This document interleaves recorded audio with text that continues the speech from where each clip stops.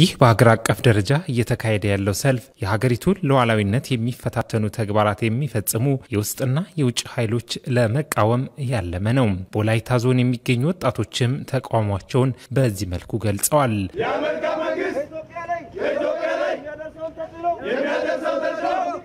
እንቃወማለን። በሰልፉ ላይ ያነጋገርናቸው ወጣቶችም አሜሪካም ሆነ ሌሎች ምዕራባውያን በኢትዮጵያ ላይ እያደረሱት ያለውን ጣልቃ ገብነት በጽኑ እናወግዛለን ብለዋል። አሜሪካ በዓለማችን ላይ አሸባሪዎችን እየተቃወመች ያለች ሀገር ስለሆነች አሸባሪዎችን መደገፍ ደግሞ ተገቢ ስላልሆነ ኢትዮጵያ ላይ ደግሞ በሽብርተኝነት የተፈረጁትን መደገፍ ሽብርተኛን ማበረታታት ስለሆነ ከዚህ እኩይ ተግባሯ አሜሪካ እጇን ማውጣት አለባት። የኢትዮጵያ ጸሎት ጥሩ አይደለም። እውነቴ ነው። ሙስሊሙ ክርስቲያኑ አንዴ ከጸለይበት ሁሉ ነገር ያልፈው። እኛ በጸሎት ነው ምናምን፣ በመሳሪያ በምናምን አናምንም። የሶዶ ከተማ ከንቲባ አቶ መርክነ ማለዳ በጠንካራ መሰረት የተገነባችው ሀገራችን በውጭ ጣልቃ ገብነት ሴራ የማትፈርስና ታላቁ የኢትዮጵያ ህዳሴ ግድብ ላይ እየተቃጣ ያለው ሴራ በጽኑ እናወግዛለን ሲሉም ተናግረዋል።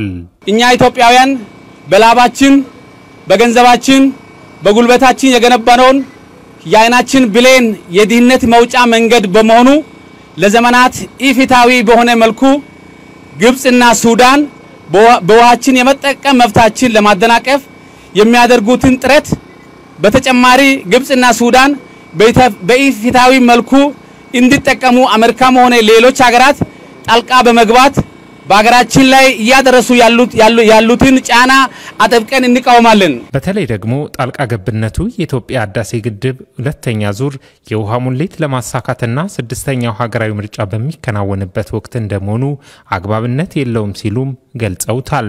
አባይ የሁላችን የኢትዮጵያውያን ነው። እጅ ለእጅ ተያይዘን አንድ ላይ ቆመን አባይን መገደብ አለብን። ወጣቱ በዚህ ሰዓት የሀገር ተረካቢ ሰውን ሀገር ባለቤት ነው። የሀገር ባለቤትነታችንን ደግሞ ማስመስከር መቻል አለብን። ህዝቡ በአንድነት ቆሟል። አሁንም ደግሞ ከዚህ በመቀጠል አንድነቱ ተጠናክሮ መቀጠል ነው ያለበት።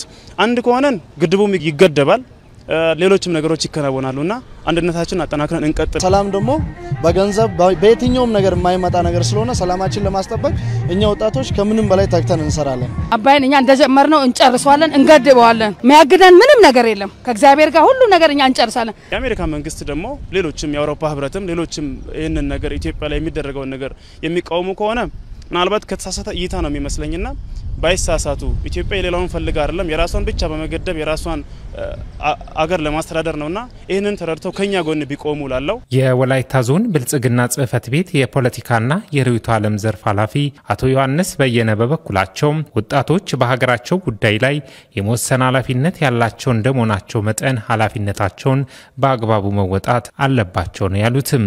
ዛሬ ላይ የተጀመረው የአሜሪካ ጠልቃ ገብነት ነገ ላይ በሌሎችም ሊደገም ስለሚችል ወጣቶች ከአሁን ሰዓት ጀምሮ በሀገራቸው ጉዳይ ላይ ወገባቸውን ጠበቅ አድርጎ አገራቸውን አሳልፎ ለሌላው እንደማይሰጡ ተምሳሌት እንዲሆኑም ጭምር ጥሬን አቀርባለሁ። የደቡብ ክልል ወጣቶች ፌዴሬሽን ተቀዳሚ ምክትል ፕሬዝዳንት ወጣት ዘላለም ዘሪሁን ኢትዮጵያ ከጥንት ጀምሮ ለጥቁሮች ምሳሌ በመሆኗ የውጭ ጣልቃ ገብነቱ ተገቢ ያለመሆኑን ተናግረዋል። ሀገር ለመበተን የተዘጋጀን አሸባሪ ተብሎ የተፈረጀን ቡድን በመደገፍ እኛ ላይ እያሳደረች ያለችውን ተጽዕኖ እጇን ከኢትዮጵያ ላይ ታንሳ። ለሚደረጉት አጠቃላይ እንቅስቃሴዎች ወጣቶች ዘብ መቆም መቻል አለብን። እነዚህን የውስጥ አንድነታችንን ስናጠናክር፣ ለሀገራችን ዘብ ስንቆም እንደ አጠቃላይ ለዓለም ትልቅ መልእክት እናስተላልፋለን። በሰልፉ ላይ ከወጣቶች ባሻገር ሌሎች የተለያዩ የህብረተሰብ ክፍሎችም ተሳትፈውበታል።